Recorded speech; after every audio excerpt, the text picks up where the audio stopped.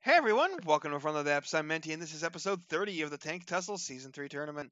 This episode, we've got the MLRS Overrain by Vanhar going up against the Papa and the Roaches by Prometheus.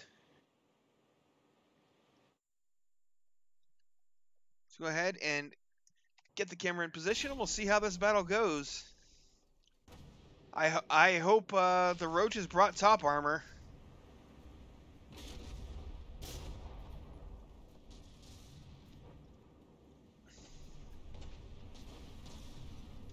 Oof.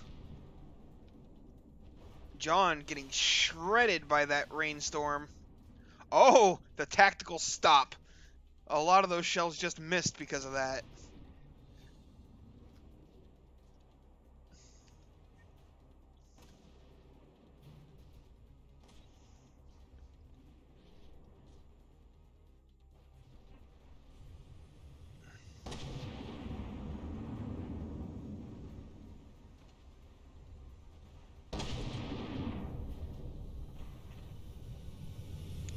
Are pretty vulnerable during their reload cycle.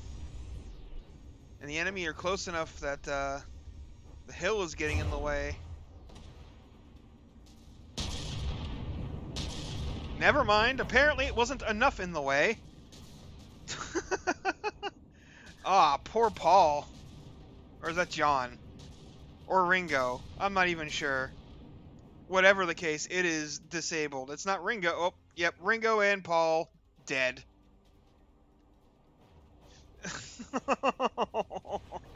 Ouch. That leaves George over here, John in the back over there, and all the overrains.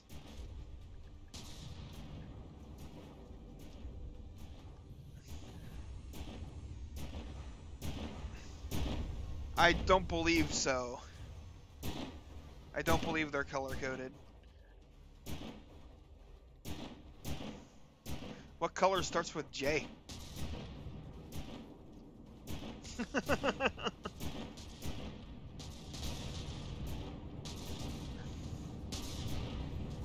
wow. George here doing a really good job of evading those shells.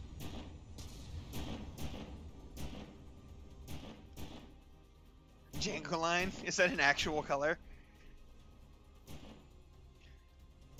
Beetle coated.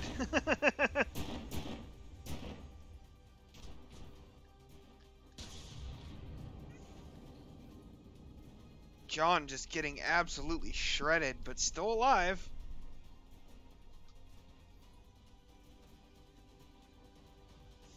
Is George firing flak? Oh no. You might knock off their wheels. the rest of them's heavy armor.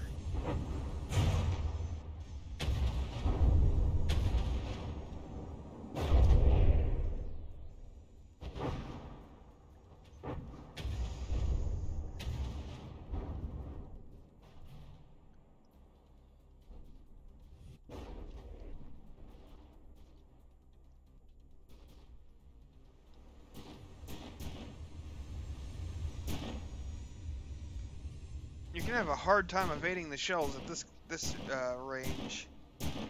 Oh, I just noticed John is dead. George is the only one left.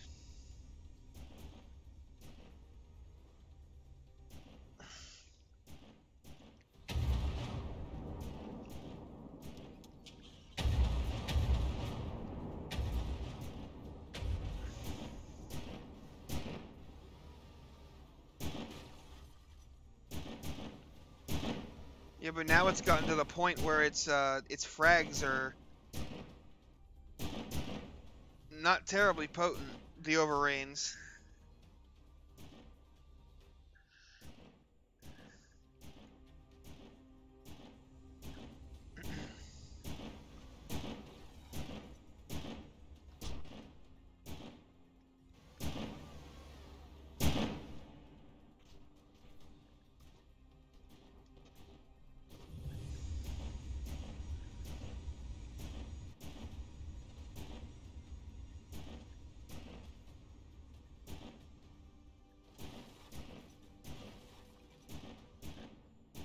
But yeah, the Overrains are pretty durable as long as you don't break these blocks down here.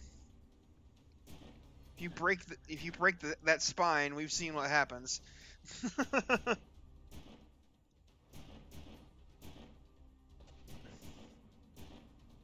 this is the the second the second group Hammertons.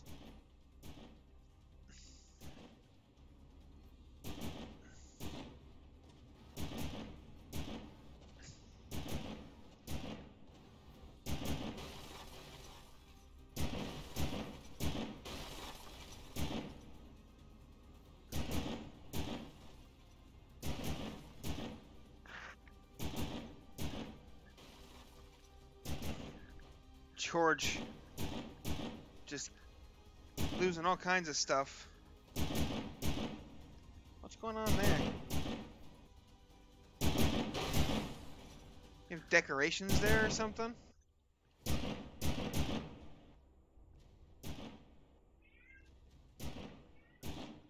Ah, Jade. Jade and Jet, I knew.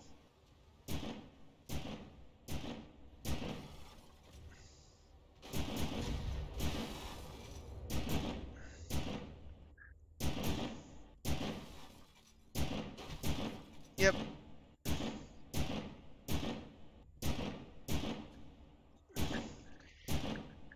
I believe it's a black. I believe it's black, basically. You know, jet black.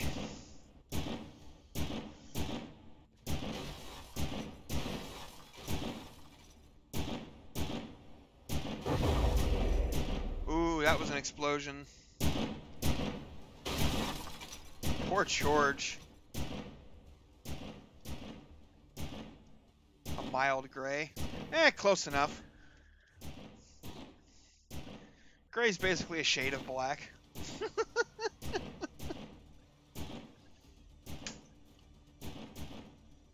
oh, cat is zooming like crazy.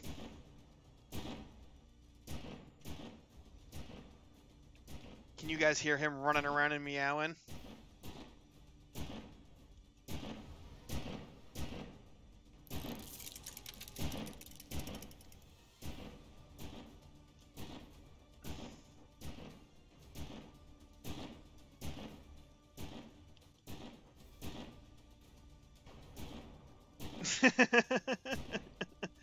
yep, typical cat.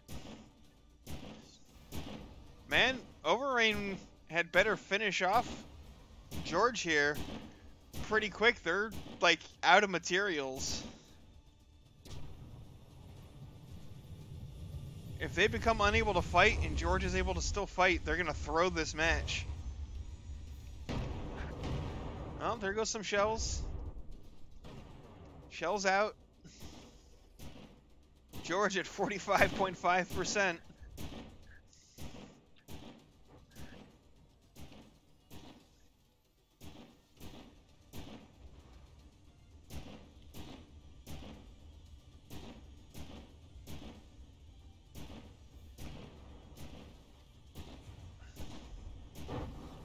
Oh, and there we go.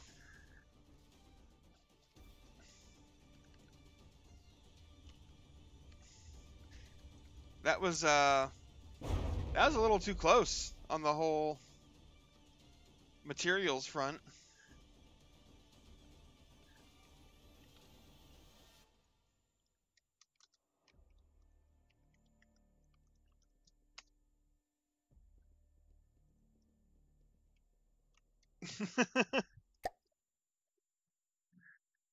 Cannibalize.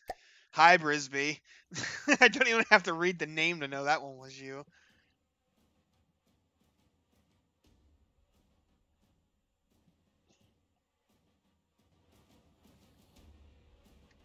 They have not, core unit. If uh, Overrain wins this match, though, Heavy Rain and Overrain will be facing each other in their next match.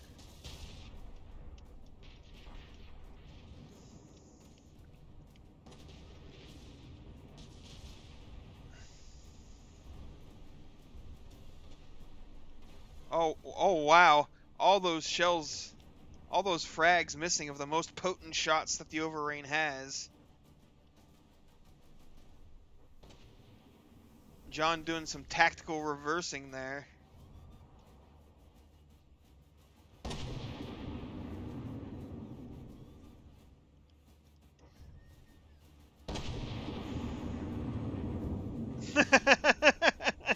Good job, Allo.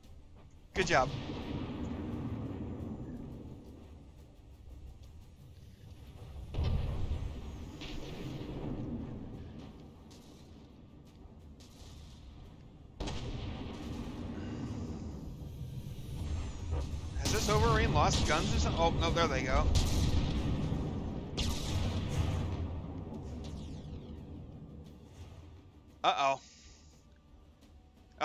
Ringo's dead. And Paulo, Paul follows shortly after.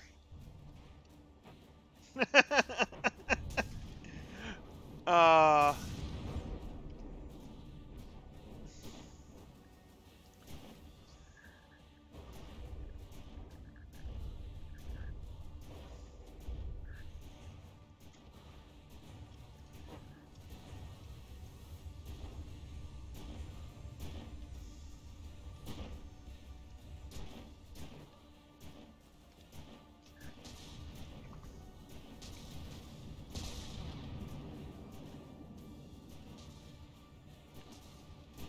George getting some blocks ripped out of the rear of it there.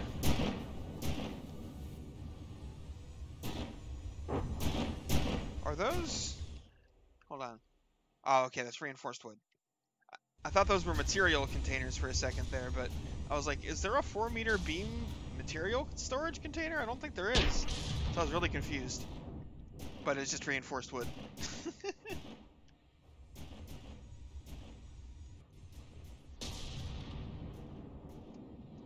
Oh, now they're all focusing on John. Which is honestly probably smart. John can probably do more damage than George can.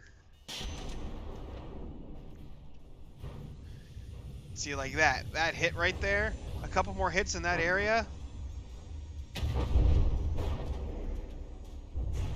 And those Overrains will not be happy.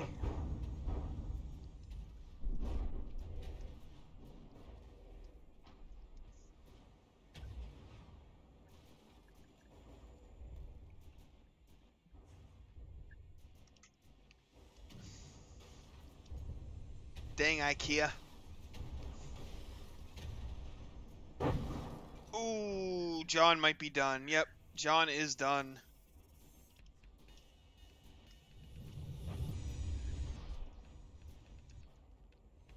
Time to turn on George.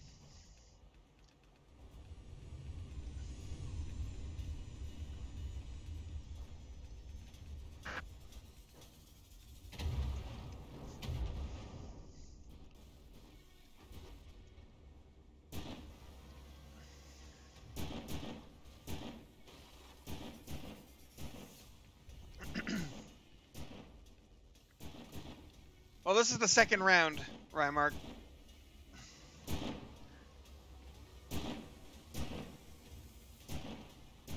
And yeah, the first round went pretty much the same.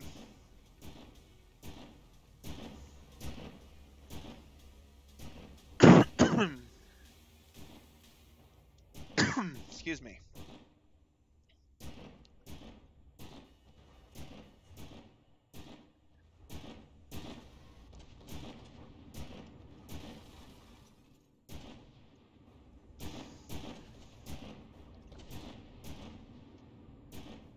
Good thing that the heavy rains don't go for George to start with. I mean, good for the heavy rains, because they seem to struggle to hit it. Do you imagine if it, if all of these were like the first volley, wasting all that damage? That'd be brutal. Over rain, yeah, not heavy rain. Oh, and that's the round.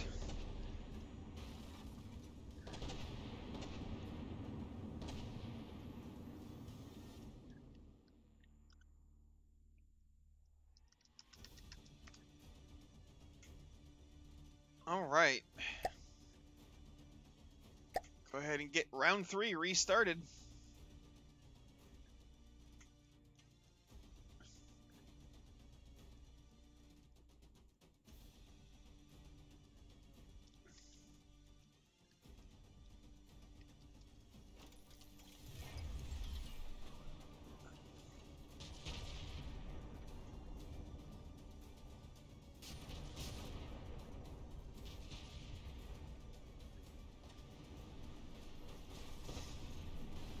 Just getting ripped apart by all that shrapnel.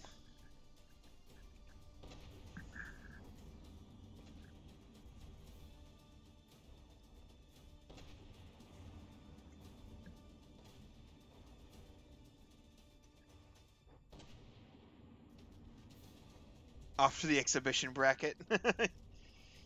yeah, pretty much.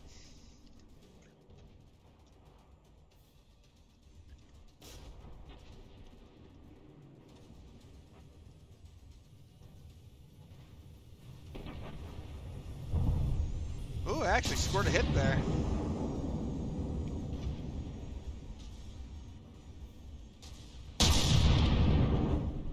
Let's see, can Ringo survive its first uh, first volley, you know, the first time it's shot at? Nope, no it can't. Ringo is dead.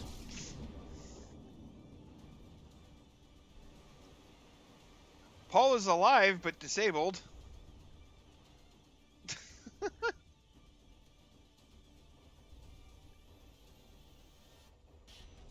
That's my mom to let you leave without an umbrella.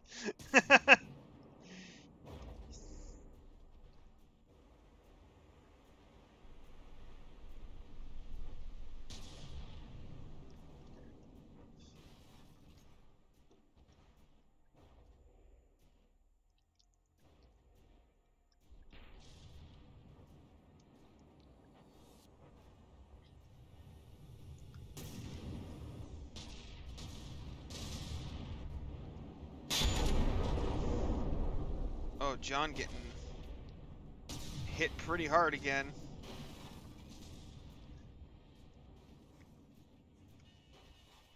It's not going to be able to take many more of those. Oh, and Paul's gone.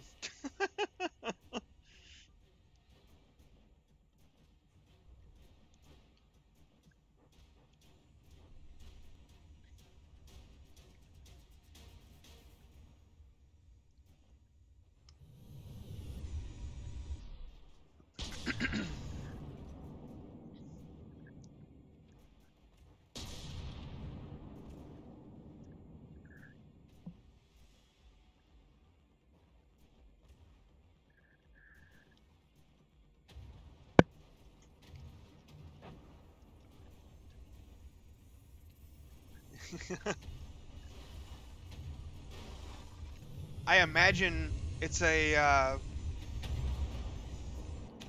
combination of a turret with a uh, a spin block locked to. Well, no, it does change it. It changes its elevation, so I don't know. I was gonna say a spin block locked to a certain elevation, and then you just set the required accuracy before firing to be pretty high.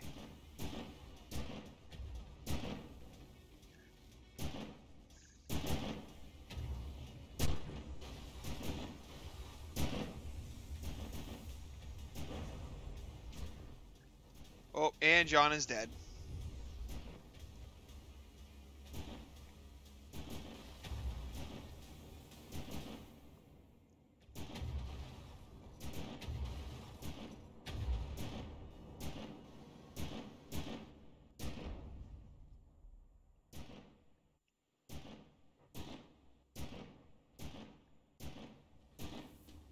Wasn't aware breadboards could even control, like, turret aiming.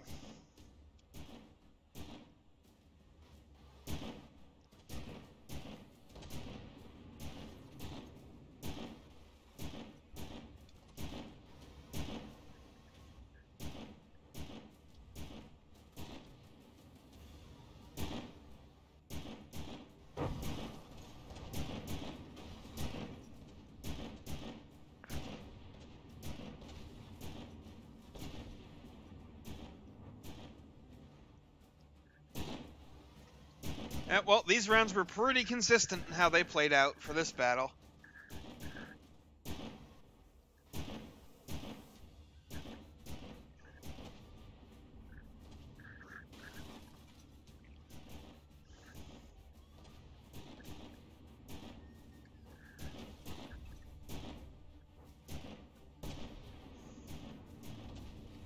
Ooh.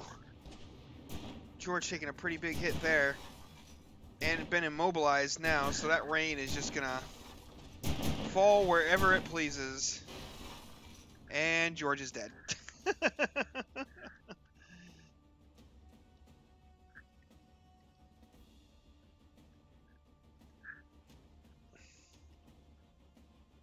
so, yep.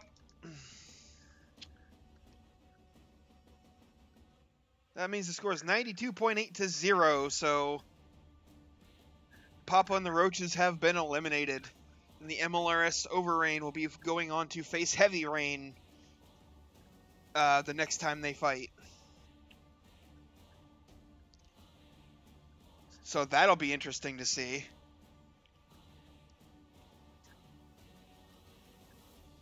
That'll probably be next week at some point. But uh, for now, thanks for watching, folks. I hope you enjoyed, and I'll see you on the battlefield.